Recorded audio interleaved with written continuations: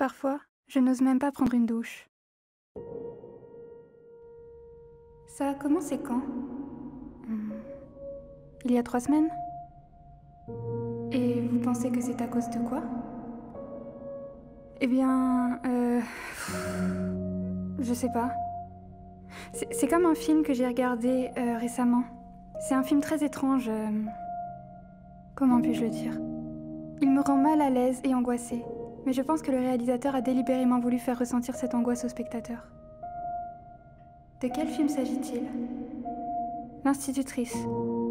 Il m'a vraiment dérangée. Pourquoi? C'était comme voir un enfant sous le giron d'une personne malhonnête. Les prises de vue sont déformantes, euh, le personnage principal est borderline. Yoav est impuissant, c'est à se demander s'il comprend seulement ce qui lui arrive. Euh, il semblerait d'ailleurs dans le spectre de l'autisme.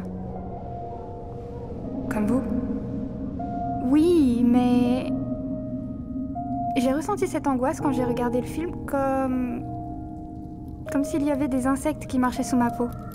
Je ne saurais pas comment l'expliquer autrement. On sent qu'elle va déraper, qu'elle s'approprie l'enfant, qu'elle l'envahit, à croire qu'elle ne peut pas vivre sans. Comme un... Parasite?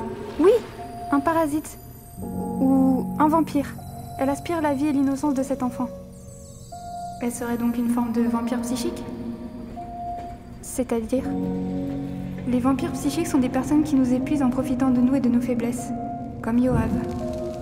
Vous dites qu'elle serait appropriée le travail du garçon? Oui, et elle est collée à lui, comme une sangsue. Ces gens n'ont en général aucune autonomie affective et d'ailleurs une très mauvaise confiance en eux. Oh mais, l'heure tourne. On va s'arrêter là. D'accord.